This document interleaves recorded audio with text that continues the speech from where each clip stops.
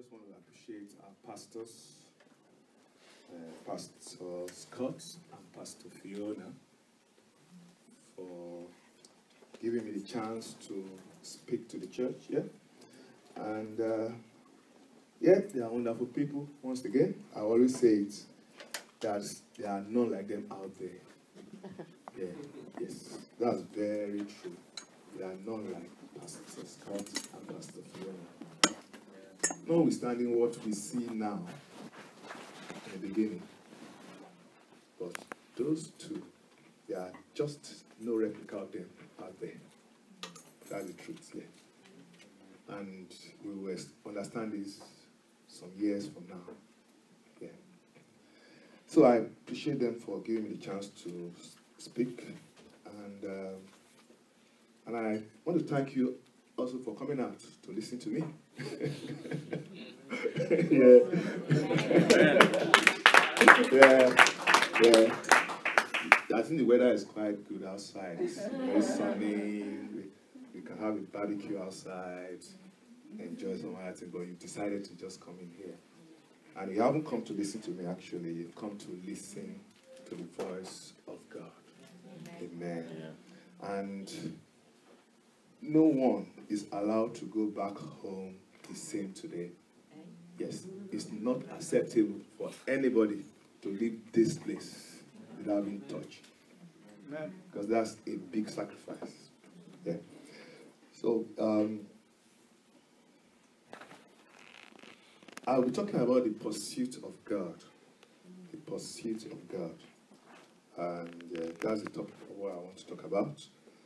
You just pray and let's commit it to the hand of the Lord. Father, we thank you. We bless your name. Father, do the talking today. Touch hearts, Father, Lord God. Father, it's not about a, a nice written message. As Paul said, it's not an oratory message, but it's about the demonstration of your power in this place today. So, Father, we are looking unto you to demonstrate your mighty power in our midst today. Not just enjoying ourselves alone with nice, well worded preaching, but we want to see your power move in this place today. In the name of Jesus, Holy Spirit, you are welcome once again. Amen. Amen. Yes. So I'm talking about the pursuit of God. The pursuit of God. And uh, I'm sure just with the top with the topic alone we can know we know where we are coming from and we know where we are going here. The pursuit of God. Uh, God Himself said in His word that if we pursue Him passionately, we will find Him. And that's the essence of this message. We want to pursue God, want to find God, I want to enjoy what is attached to pursuing God passionately. So he said, if we pursue him, we will find him. In Deuteronomy 4.29, Deuteronomy is a, is a long Bible. Deuteronomy, D-E-U, Deuteronomy 4.29, yeah. 4.29. He said, but from there you will seek the Lord your God and you will find him. If you seek him with all your heart your soul. He said the same thing in Jeremiah 29, verse 13. Jeremiah 29, verse 13. And you will seek me and find me when you search for me with all your heart. So there's no doubt that when we take it upon ourselves to pursue God, we will find Him. And since that is all settled, then it's worth trying. Since God Himself has said that if we decide to pursue Him, we will find Him, then it's worth trying to pursue Him and finding Him. A host of people in the Bible have pursued after God. And they found Him. I have some few kind of statements such kind of people have made in the Bible. People like Esther. Esther. In Esther chapter 4, verse 16. Esther chapter 4, verse 16. Esther said, towards the end of that particular passage, said, And if I perish, I perish. In his in the process of pursuing God, doing what God asked her to do. If she perish, she will perish. She's okay with that. The good thing that she did not perish. Hallelujah. I have another one here. Job. Job 13, verse 15. Job 13, verse 15 says, Though he slay me, yet I will trust him. Even so, I will defend my own ways before him. Job was somebody that went through a lot. The devil took away everything that belongs to him his wealth, his uh, family, his health. But this same Job said, even if God decides to slay him, he will still trust God. That is, whatever is rem- remaining out in his life is to pursue after God. Hallelujah. Joseph is another person. Joseph. Joseph made a statement that landed him in prison. Joseph in the Bible here. I, I believe you know who we are talking about. In Genesis 39, verse 8 to 9. Genesis 39, verse 8 to 9. Joseph's, where Joseph was a slave, he was meant to be promoted as a senior slave if he decides to have an affair with Potiphar's wife. He refused. I made a statement like, How then can I do this great wickedness and sin against God? So it wasn't bothered about sin against man or anything, it was against God. How then this great wickedness and sin against God? That statement landed him in prisons. that's somebody that's ready to give everything to God. The three Hebrew boys, and the three Hebrew boys, uh, in Daniel 3 16 to 18. Daniel 3 16 to 18. These boys were asked to worship a graven image. Yes. They were asked to worship an image. And if they don't worship the image, they put them in a burning fire, very hot, and they will die. And these same three boys, Shadrach, Meshach, and Abednego, that, that's one of the stories that we used to love very well in those days. Yeah, yeah. Said, God whom we serve, that's Daniel 3, 16 to 18. I've just left some other part out. Our God whom we serve is able to deliver us from the burning, fiery furnace. And he will deliver us from your hand, O king. But if not, I mean, if God decides that he will not let, he will not deliver us, we are not going to serve your Or will we worship the golden image you have set up? That's pursuing God with everything. Daniel. Daniel. Daniel was asked not to pray anymore. And if he decides to pray, he'll be thrown into the lion's den. I know what Daniel did. He decided to start to pray, open up the windows of his house, and pray three times as normal. Because he knew the God is pursuing after. The Bible says in Daniel 6:10 that he knelt down on his knees three times that day and prayed and gave thanks before his God. He was taken and thrown into the lion's den, but the lions went on holidays. Hallelujah. they went on holidays when Daniel was there. They could not even roar. They, can't, they couldn't make a noise, talk less of eating him up. Until he left that den, the lions could not make a sound. That's pursuing God. So I've just um, look at the last one I want to talk about, the last one or two there. That Jesus Christ said to the disciples, Jesus Christ said to the disciples in Matthew 16, 24 to 25. Matthew 16, 24 to 25. Then said Jesus unto his disciples, If any man will come after me, let him deny himself, carry his cross, take up his cross, and follow me. For whoever will save his life shall lose it. Whoever will lose his life for my sake shall find it. That's pursuing God. Those are people that want to pursue after God.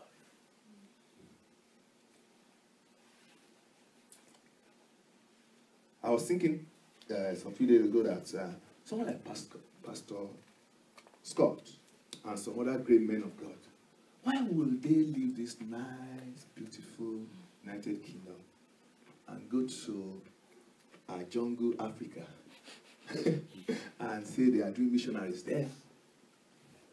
Why would they try that? Pastor Scott has gone there like maybe seven times. It's all about pursuing God. Those are people that been sold to pursue God with yeah. all their soul, with all their minds. Yeah. Yes. And even us here, why will we live at big churches that has the nicest buildings, everything is all right, we have everything there. Why will any of us decide to come here? Including myself. Why would any of us decide to be part of this gathering? It's because there's something we are pursuing after. Yes. Yeah. And that's God. That's it. We might not be totally clear about it, but we will be clear very soon. It's all about God. I mean, there are churches out there that have everything in place, but we decided to be here and we will find God. We will find God in a drama, in a very, in a different way that people around haven't done that before. Yeah, we will find God.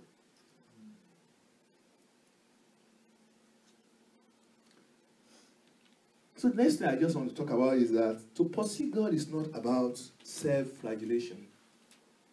I mean, it's not like flogging yourself, beating, beating yourself in a cruel way you know, the religious kind of way that people start to flog themselves.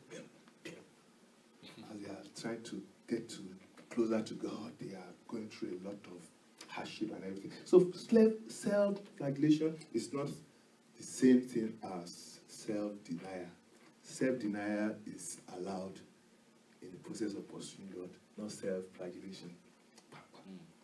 And pursuing God is not about committing suicide like the ISIS, Islamic states, the Muslims, they will blow themselves up because they want to pursue their God. And because they, they've been told that when they get to their God, they have seven virgins to marry. They have seven wives straight away when they get to heaven. Uh, unfortunately, they have not read the Bible that says there's no marriage in heaven. so it's not about committing suicide. It has nothing to do with committing suicide. There is something called persecution and probably martyr, martyrdom here. It's possible for a Christian to be killed because he's going after God. But God has not asked a Christian to commit suicide. Mm-hmm. So, so, are two different things. Hunger strike is not the same thing as fasting. But you don't need to eat there.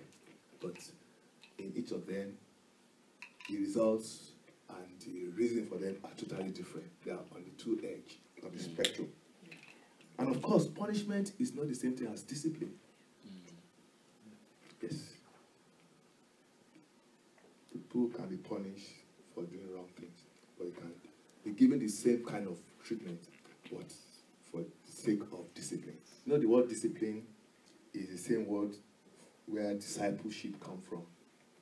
And discipleship means to be training to become like Christ Jesus, right? So there are two different things. In fact, Paul the apostle said, Therefore I run, that's uh, 1 Corinthians 9, 26 to 27. 1 Corinthians 9, 26 to 27. Therefore I run, thus not with uncertainty. Thus I fight, not as one who beat the air, but I discipline my body and bring it into subjection, lest I have preached to others and become a castaway. That is discipline. Okay, let's go to the main cross of the matter. My personal revelation of pursuit of God. That's what I just felt like sharing today. Personal revelation of. I know there are quite a lot of books out there that talk about pursuit of God. There's a good one, a classical one by A.W. Tozer. T O Z E R, yeah?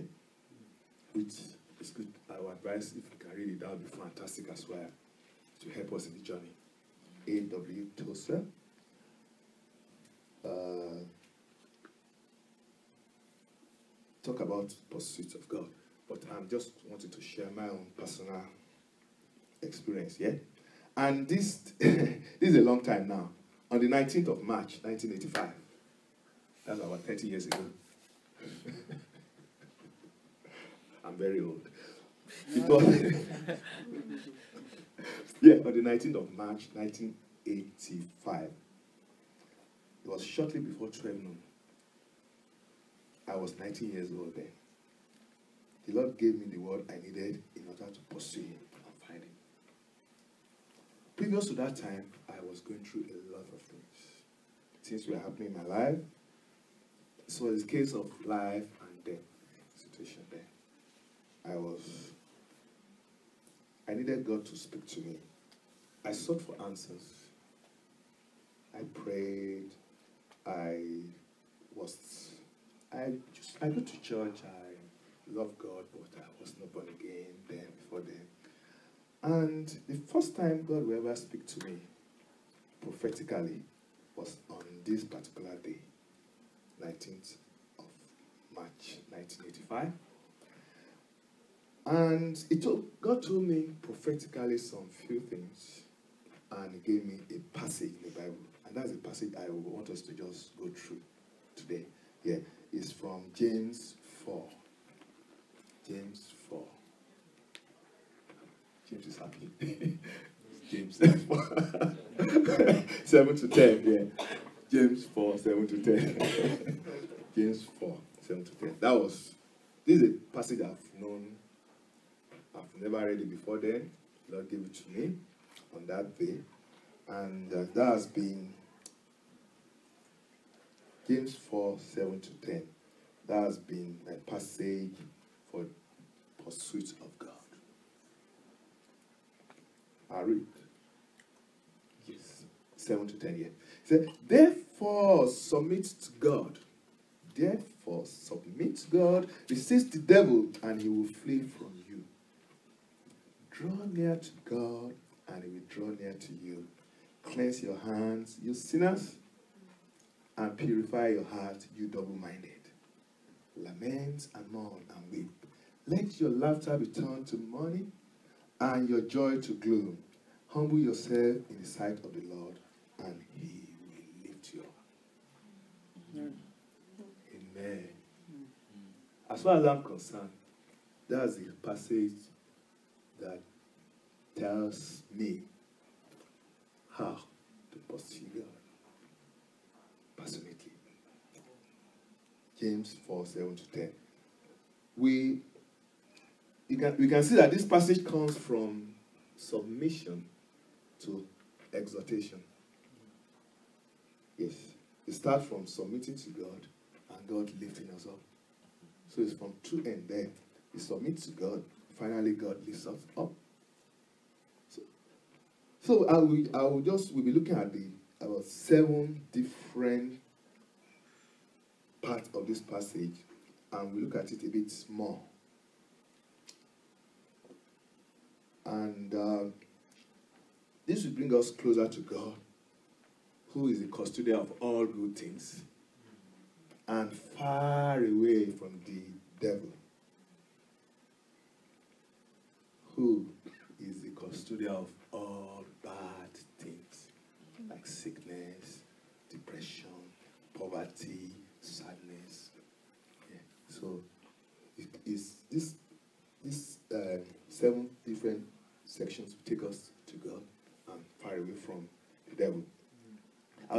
this uh, as well that the word God, G O D, if we add an O to it, Good. it becomes good. Amen. That is, by getting close to God, add to our lives. We add something to God, become good, yes? Because God is good always. Amen. Meanwhile, by removing the letter D from the word devil, you get what? Evil. So getting close to the devil removes something nice. Nice health, money, joy, everything from from alive. And because the devil is evil always. Amen. So so let, let's just keep that in mind. It's just a riddle here. Yep. So number one, therefore submit to God. Therefore submit to God. We just go through them. It's just about seven of them. Therefore submit to God. Submitting to God involves us being born again. And that was the first thing. Being born again. That is where the pursuit of God starts or begin from. Mm. Being born again. John 3 1 to 8. John 3 1 to 8. There was a story of a man called Nicodemus. He came to Jesus Christ, he was asking some questions. He wanted to see how he can be close to God. That's John 3 1 to 8. Wanted to know how he was to how he can have anything to do with God. And Jesus Christ just told the man, Look, Nicodemus, I know you are you have a lot of knowledge, one of the highest in the church, but you cannot have anything, you cannot even see the kingdom of God except you are born again. That was very confusing to him. And that's still confusing to so many of us even now. He said, Most assuredly I say to you, unless one is born again, born again, he cannot see the kingdom of God. Most ass- assuredly I say to you, unless one is born of water and the spirit, you cannot enter the kingdom of God. That which is born of the flesh is flesh, and that which is born of the spirit is spirit. Baby kicking. Praise the Lord. He's responding to the word of God. you can't just afford not to respond to the word of God. Hallelujah. So, Adam and Eve has moved us far away from God. In the past, when Adam and Eve were in the garden, the God actually pursued them. God used to come every evening and have a chat with them. But since the time they were chased out of the garden, we have to look for how to get back to God. And thank you for Jesus. Amen. Jesus has come to reconcile us back to God. And that's why the first thing we need to do is to be born again. Then why, as we read earlier on, he said, that which is born of the flesh is flesh, and that which is born of the spirit is spirit. Yeah?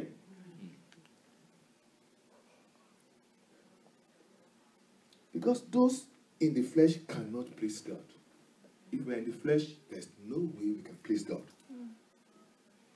Um, Romans 8 1 to 8. Romans 8 1 to 8. I just read the last bit there. It said, Those who are in the flesh cannot please God. And the only name given among men to move us from the flesh into the spirit is the name of Jesus. I know this might be like a basic doctrine of salvation, but I just want us to revisit it today so that we know where we're starting from, right? Act 4:12. Salvation or being born again is our first and the most important requirement of, or armor to fight our battles in life. That was what I was told then, 30 years ago. I need to start from there. I wasn't a bad person then. I used to do my homeworks. I used to go to church. But I was not born again. yes, I used, to, I used to do. I, I love church, I love God, everything, but I needed to be born again. Yeah. So Ephesians six seventeen said, You should take the helmet of salvation. Helmet of salvation. Helmet of salvation. Helmet of salvation. Which is one of the armors that we need to fight our battles. Yeah? Apart from soldiers, uh, soldiers that go to war, quite every sport seems to require one to wear a helmet, right? So that must be very, very important, right? Even sports like cycling, motorbike, judo, karate, racing cars, horse riding, even skating. My older son bought himself a skateboard. And I asked him if he needed helmets to ride that skateboard. Skateboard. And he said no. And in my presence, he fell. He fell on that skateboard. And I advised him to take it back to the shop. Just take it back to the shop. You don't need it. It's dangerous. so we need helmets. It's very, it's very important to protect our head, and that's probably why salvation is taken as a helmet. Is uh, Paul described it as helmet? Being born again give us the opportunity to submit to the authority of God. And the authority that we submit to, that's what works for us. If we are not submitting to God through Christ, then we cannot use that name. We're talking about the name uh, breaking chains. If we are not submitting to that authority, we cannot use that name. There's a story in Acts chapter 19, 11 to 16. Acts of Apostles, chapter 19, 11 to 16. Of some, a group of people trying to cast out a demon with the name of Jesus Christ. They don't even know Jesus Christ. They said, the Jesus Christ that Paul preaches. Acts 19, 11, 11 to 16. And the demon, the man with the demon, jumped at them. They are called seven sons of Sceva. And said, Jesus we know. Paul we know. But who are you? what authority do you have to use that name? And tore their clothes, they ran out. yeah. So today is a good day for us to make that kind of a commitment. Even if we've done it before, we've gone astray, it's good to come back. And if we are, or we are not really sure about it, we need helmet of salvation so that that name can work for us 100%. We need that name, Jesus Christ, to work for us. Amen. So, number two, resist the devil and he will flee from you. Resist the devil. Resistant, resistance is an active or action word. Mm-hmm. Yes. It's not a passive word.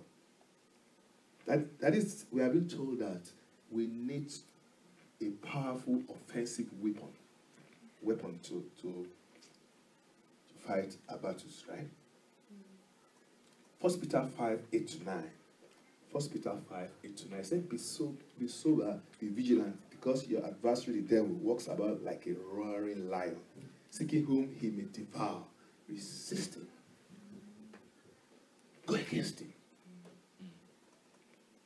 Fight him.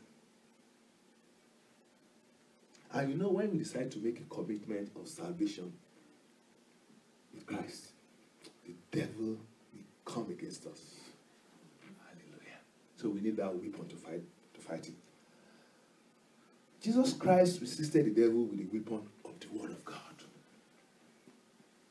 You know that story very well in uh, Matthew 4 1 to 11. Matthew 4 1 to 11. The devil came against Jesus Christ and quoted some wrong scriptures. He asked him to turn stone into bread. because he knows that Jesus Christ was hungry. I know we all know how to be hungry. so the devil will come against us, asking us to do some wrong things to satisfy our hunger. Or so many other things, the devil will come against us. But Jesus Christ kept on saying, It is written. He had the word. He used the word as if as a weapon of resisting the devil. It is written. It is written. When the devil knew he has no place there, he ran away. Amen. So we need the word of God as a weapon of resistance. Why the word of God? The word of God is able to resist the devil adequately because it is very powerful. Powerful. The word of God is very powerful. Uh, Hebrews 4 12. Hebrews 4 12. For the word of God is living and powerful, sharper than any two edged sword, piercing even to the division of soul and spirit, and of joint and marrow. It is designer of the thoughts and intents of the heart. Hebrews 4 12. The word of God is not just powerful, like atomic bomb or AK 47 or something. Yeah. I tell you what, yesterday when I was using the streamer, thing, I, thought, I thought I was Rambo. Rambo. I, I thought I was shooting. Praise the Lord. Amen. So, the word of God is powerful. It is not, it's powerful, not like just because it's not carnal, it's not physical. The power in it is not physical, but mighty. Because the mighty and spiritual. Because the enemy that we are fighting is not a physical enemy. Pursuing God that I'm talking about might just be equivalent to fighting our battles. Because the more we are with the Lord, the more we have to fight the devil. So, when we talk about spiritual warfare, uh, the more you decide to go after God, the more you, you have to fight the devil. Yeah. So, yeah. So the, the weapon, the weapon that we we have, that's Second Corinthians 10, 3 to 4. 2 Corinthians 10, 3 to 4 is not physical, it's very powerful. It's not kind of mighty, yeah? The weapon that we have, which is the word of God, is able to resist resist sickness and bring about healing. Yes. Psalm 107, verse 20. Psalm 107, verse 20. Psalm 107, verse 20. He sent his word and healed them and delivered them from their destruction. So that word, these are tru- the truth. They are, it is real. It has not changed. Example, there was a centurion that asked for Christ to heal the son, a centurion in the Bible, in Matthew chapter 8. And this centurion actually asked Jesus that just say the word here, and my servant will be healed. And truly speaking, by the time the centurion got home, the servant was healed. That is the word. That's the word of God. So, because the word of God is so powerful, it's, don't be surprised that as we are sitting here now listening to the word of God, there are healings that is happening in our lives without even prayers. Don't be surprised. It is not unusual. Because there was a time Jesus Christ was uh, teaching. As I think it's Luke chapter 5. He was teaching in the house. He got to the house and he was just teaching. And Bible says the power of God was there to heal. He wasn't praying for the sick, he was just teaching the word of God. And the power of God was there to heal people. So when the word of God is being taught, I expect healings to begin to flow. Amen. That is scriptural. That's in the Bible. Yeah? And it's happened over and over again.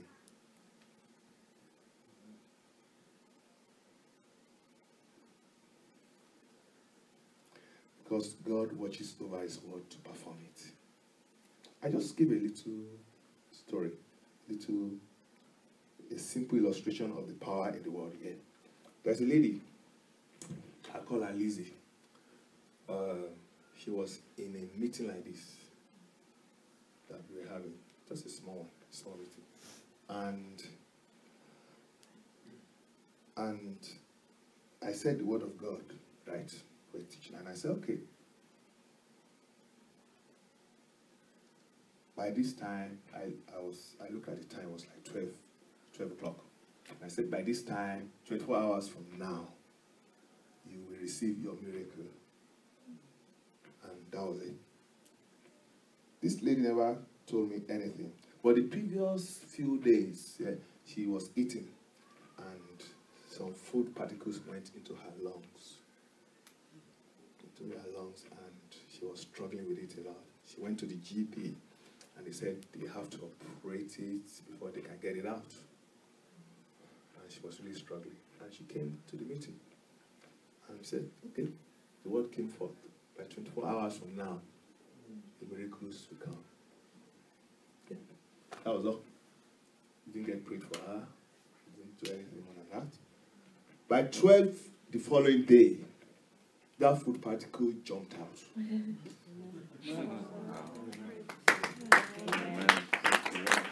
So that's the word of God. That's what he can do. The Bible says it's sharper than any two-edged sword. And you don't need a doctor's two-edged sword, uh, doctor's scalpel or knife or something to get things done. The word of God can do it. Amen. Let's just, just make a declaration straight away at this time. Okay. I'll just I'll use this scripture in Isaiah 54 verse 17 that says, No weapon formed against me shall prosper, and every tongue which rises against you, judgment we shall condemn. Let's just declare this word of God at this particular time. That every weapon, it might be weapon of sickness, weapon of lack, weapon of um, depression, weapon of happiness, that the devil has formed against any of us here. Let's begin to declare it now that by the power in the word of God, they will not prosper. From this particular moment, it will be broken.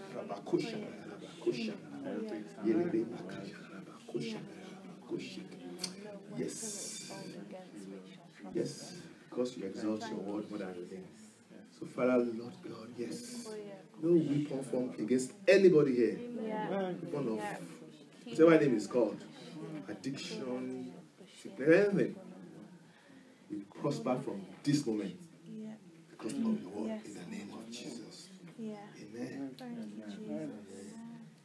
So draw near to God. That's the, the next one. Pray. Draw near to God and we draw near to you. This was spoken so much about last week by Pastor Scott, so I won't really go into it much. But the more we spend time in the presence of God, the more God draws near to us. Yes? Just look at scriptures like Hebrews 10 19 to 22. Uh, he said, with boldness we can approach the holiness by the blood of Jesus. Yeah? And just in two seconds, I want to talk about just some few other importance of drawing near to God. Number one, when we draw near, we obtain mercy. Hebrews 4.16, when we draw near to God, we obtain mercy. Hebrews 4.16, when we draw near unto God, we behold his beauty. Psalm 27 verse 4. Psalm 27 verse 4. Moses spent some time with the Lord, like 40 days and 49. By the time he came out, his face was radiating. So we don't need any beauty treatment anymore. We spend time in the presence of God, we become beautiful. Yes. No Botox or something to yeah. Just become beautiful. It's true. Moses tried it, it worked. It can work for us as well. Amen.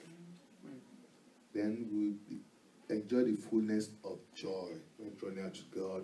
Psalm 16, verse 11. Psalm 16, verse 11.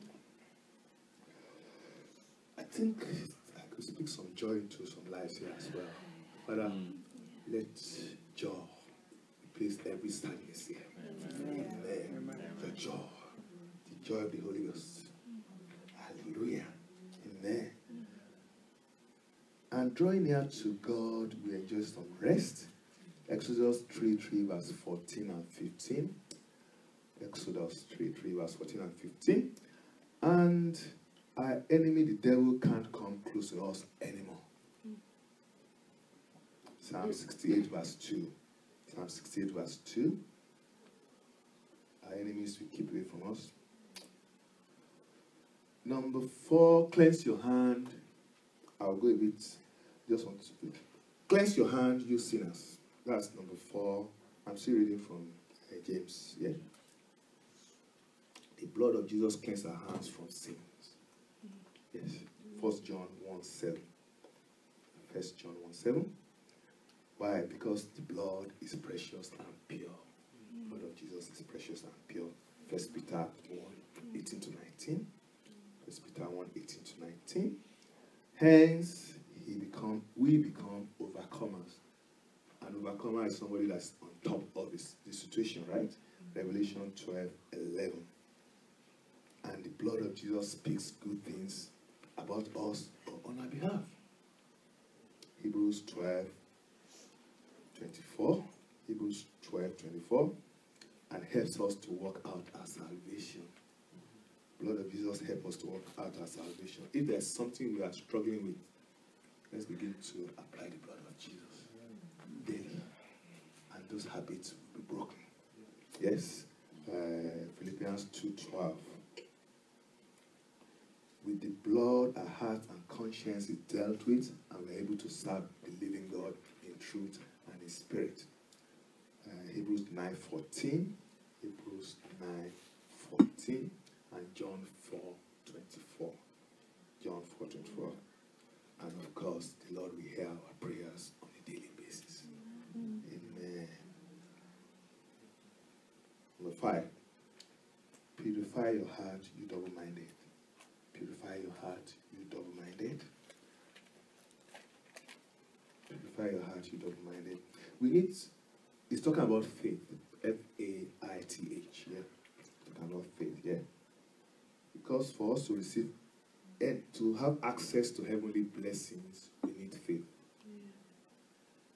That is to buy things from the heaven, just as we need money to buy things in the city center. Hmm. We need, we need faith to buy things from heaven.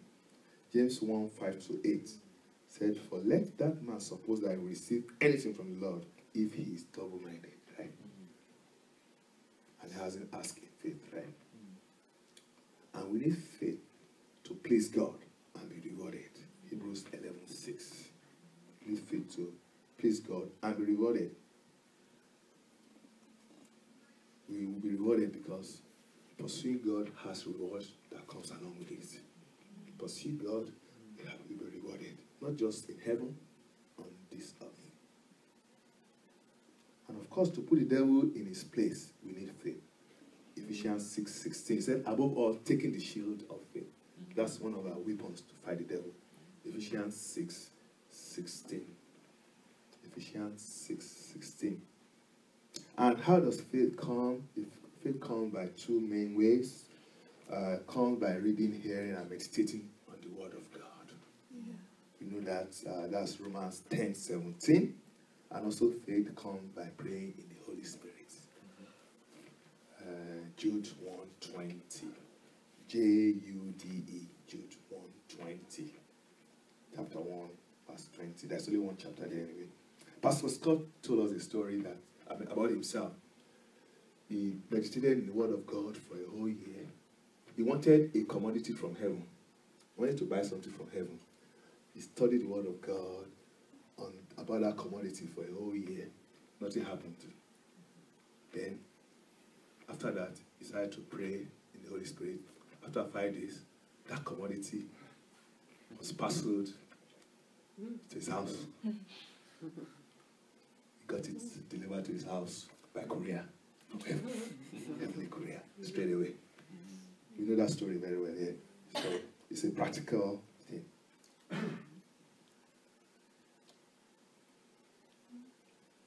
I'll, in one second, I'll just, okay, yeah. yeah. Okay, there's, it there's one story I just want to tell you as well. There's a married couple I know, and they were barren. They wanted baby. So we prayed with them, and the wife conceived. And uh, unfortunately, when they test the baby inside, the baby was carrying the sickle cell anemia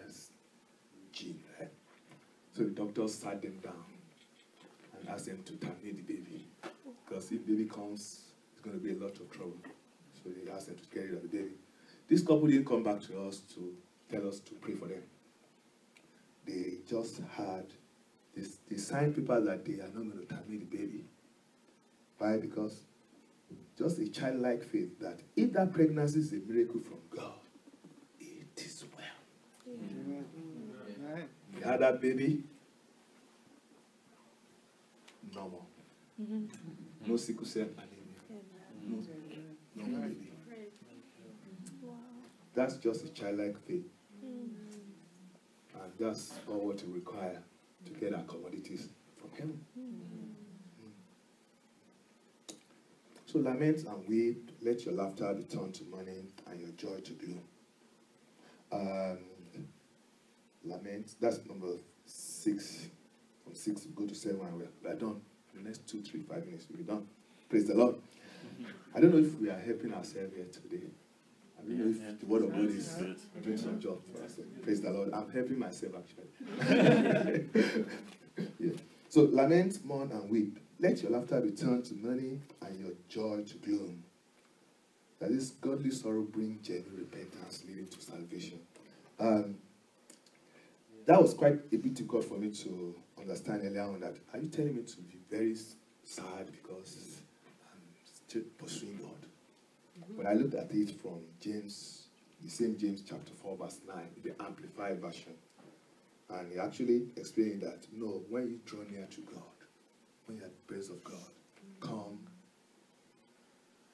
with broken heart and everything. Yeah. And don't feel you are all, we are all there.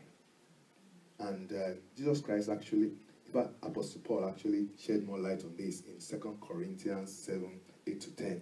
2 Corinthians 7, 8 to 10. He said, For godly sorrow, that's the last bit, for godly sorrow worketh repentance to salvation, not to be repented of, for the sorrow of the world worketh death. So that's 2 Corinthians 7, 8 to 10. And Jesus Christ shed some light on this as well in Luke 18, 10 to 14. Luke 18, 10 to 14. That there were, he was trying to compare two people. There was a particular one that come before God to pray. Luke 18, 10 to 14. And he was talking about himself. How could I? I pay my tithes. I, I dance in church. I did do everything a Christian is meant to do. So I'm good. But the other one far away, who is a Pharisee, uh, who is a Republican, right? He said, God, have mercy on me. I'm a sinner. That's the way we should come before the Lord. A sinner. Have mercy on me. Have mercy on me. He was praying deeply. And the Lord said, the, this other man went home fulfilled. That the Lord actually answered his prayer. So we should not forget that repentance is part of how Jesus taught us how to pray. In the, in the um, Luke 11 14. Luke 11 14. That um, when we say the Lord's Prayer, we need to ask the Lord to forgive us our sins. Yes. We get born again, we get salvation, that's correct. But we need to work out our salvation with fear and trembling daily. Every day we still get into some sin, but we need to ask the Lord to help us out every day. Um, I'll just go to, I'll leave that alone now. I'll go to the last one there. That's number seven. Humble yourself in the sight of the Lord and he will lift you up. This is very clear. Very clear to us. Humility brings us close to God. Pride keeps us far away. That's the sin of the devil. Yeah. Pride is the sin of the devil. That's why it was thrown down from heaven. Humility brings us close to God. God loves the humble, but keeps the proud at arm's length, far away. James 4 6 and 1 Peter 5 5. James 4 6 and 1 Peter 5 5. Jesus Christ is a perfect example of humility. In Philippians 2 5 to 11, Philippians 2 5 to 11, the Bible says, Let this mind be in you, which was also in Christ Jesus. Philippians 2 5 to 11. The Bible says, He humbled himself and became obedient, even unto the point of death. And that's why he was given a name that is above every name and at the mention of his name, every knee must bow. So that's true humility unto the point of death. God exalts the humble to sit with Jesus in heavenly places. So when we become humble, Jesus Christ is sitting up there. God takes us, we are here physically, but He takes us and puts us just next to Him. Mm. That the devil can't touch us. Amen? Mm. Ephesians 1 20 to 21. Humility is having a teachable spirit. A spirit that the Lord can speak to. Psalm 25, verse 9. And when one is humble, the Lord gives us unmerited, undeserved favor. When one is humble, he gets unmerited or undeserved favor. It's Proverbs 3 34. and, and the Lord increase Uh, the last bit there is uh, I just want to talk about before we close is this story of uh, in Numbers chapter 12 verse 1 to 3. Numbers 12 1 to 3. We close now. Now, yeah. It's about the fact that the Lord fight your battle even when you are sleeping. A humble person, the Lord fights his battle when you are sleeping. That is, you are having a nice sleep in your house, and there's some battle that is ready. The Lord just fight. He doesn't even talk, tell, tell about it. Look at this story in uh, Numbers 12, 1 to 3. Yeah? It said Miriam and Aaron, these are Moses' brothers and sister. They were conspiring against Moses. They were against Moses. And that because of probably married the wrong wife or something. And Bible says the Lord it. Moses did not hear about it, but God heard about it. And why? Bible says, now the, the man Moses was very humble, more than all men who were on the face of the earth. Moses was very humble, more than anybody there. So because of that, when they were conspiring, his brothers and sisters, they were having some nice chats against him. God heard it and punished them. So God fights a battle. I'll just give this life story. It's, it's a bit, uh, I'll make it a bit short, right? There was a man, I'll call his name, his name Charles. Real man, yeah. Charles. I'll call him Charles. That's not his real name. Um, I just read it quickly. Because it's, it's an interesting story. I don't want us to, I will have just keep it, but uh, I want us to just know about that. Yeah? This man called Charles, yeah? He belongs to an occultic group, like Freemason or something. Yeah. And the ex-wife told me in a panic that some months back, then that the, the, man was coming on a visit from another country, yeah, and said to her, but well, I said to her, I said, okay, fine, this man is coming, but don't be surprised if a bag disappeared. That's what I just told you, right? So this man, he left his bag in the hotel room in London and visited his ex-family for the first time.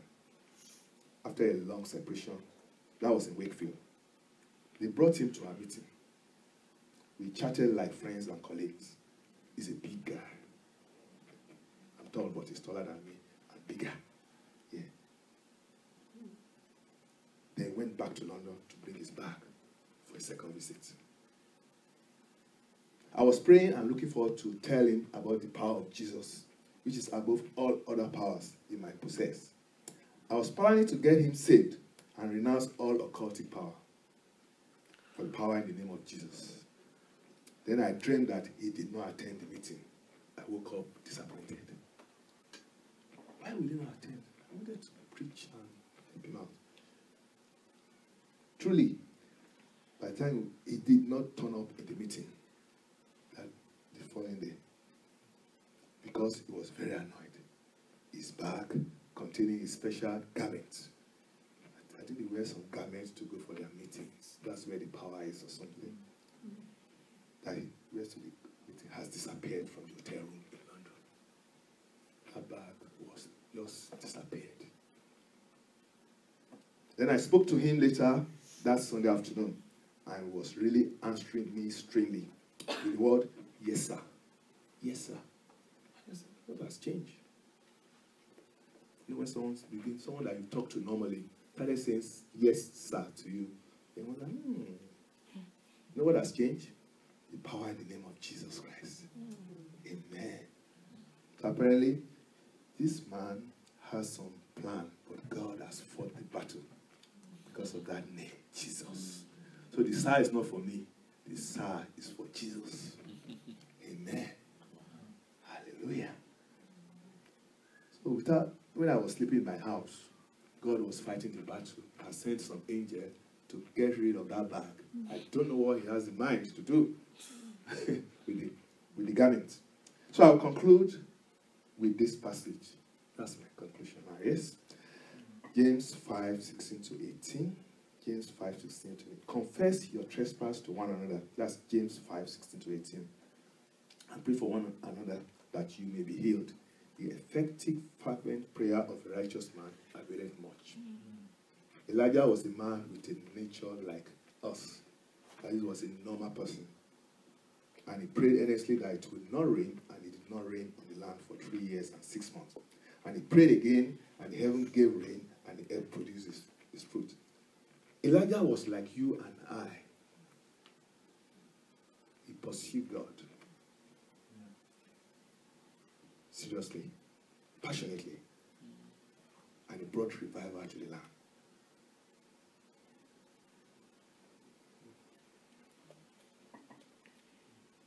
When he prayed, heaven responded to his prayers. And I believe that if we pursue God with everything in us, heaven will respond to our prayers. And it will bring revival to this land, to the nation. It will bring revival to our, to our lives as well. First. I mean, this is a hard message for me to actually preach because I'm actually making my final declaration openly today.